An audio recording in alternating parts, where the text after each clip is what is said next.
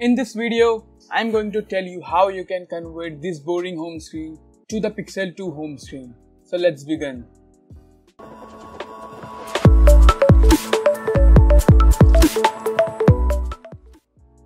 Hey what's up guys my name is Zahir.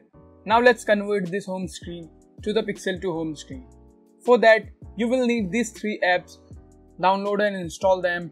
The link of these apps in the description box below. I'm not going to show you how to install those apps cause everyone know how to install an app. After installation just press the home button then you see this launcher selection. Select the Pixel launcher.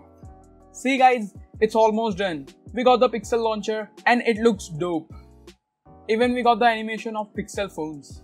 Now let's set the live wallpaper. Tap and hold the screen. Then select the wallpaper.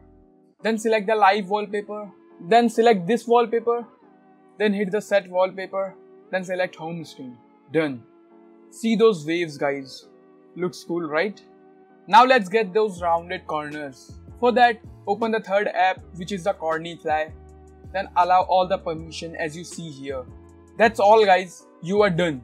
As you see here, this home screen looks really cool. Guys, what do you think? Let me know in the comment section below. So guys, do you like this video? If yes, then please hit that like button. And if you love my content, then please subscribe this channel and hit that bell notification icon for more amazing videos like this one. Thank you so much for watching this video guys. See ya.